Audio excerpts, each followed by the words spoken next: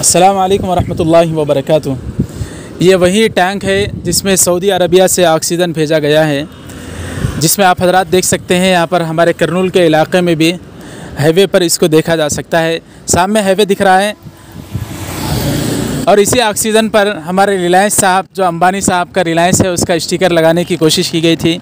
लेकिन यहाँ पर साफ़ देख सकते हैं, ला इल्लल्लाह मोहम्मद रसूलुल्लाह, कलमा भी लिखा हुआ है।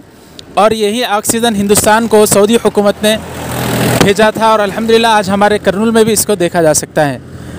आप हजरात इसको अच्छे तरीके से देखिए यहाँ पर अरबी में भी लिखा हुआ है। नाजरीन कुछ हकीकतें ऐसी होती हैं जिन्हें जुटलाया नहीं जा सकता। इन्हीं हकीकतों में से एक हकीकत है कि जब हमारे मुल्क के भारत में दो महीने कबल तकरीबन कोरोना के केसेस हद से ज़्यादा बढ़ रहे थे और अमवात की कसरत हो रही थी और मोदी सरकार ख़ुद परेशान थी कि क्या किया जाए कैसे किया जाए और मोदी सरकार की हर तरफ़ से बदनामी हो रही थी तो ऐसे में फ़ज़ल हुआ उस मालिक का, जिसके नबी के मुल्क से, यानी उस नबी मोहम्मद सल्लल्लाहु अलैहि वसल्लम के शहर से फिर भारत को ऑक्सीजन दिया गया।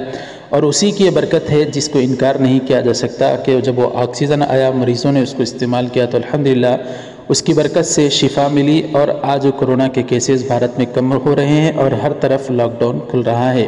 नाजिन इसी तरह की ये खबर है। आप हजरात इस पर क्या राय रखते हैं, हमें कमेंट करके ज़रूर बताएँ। वीडियो ज़रूर लाइक करें, पसंद आया तो शेयर ज़रूर करें। चैनल को हमारे सब्सक्राइब करके बेल आइकॉन पर क्लिक करके ऑल पर क्लिक कर दें।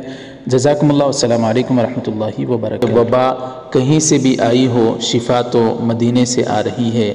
और एक शख्स लिखते हैं कौन कहता है कि ऑक्सीजन आ रही है? मोहम्मद सल्लल्लाहु अलैहि वसल्लम के शहर से ऑक्सीजन नहीं, शिफा आ रही है मोहम्मद सल्लल्लाहु अलैहि वसल्लम के शहर से।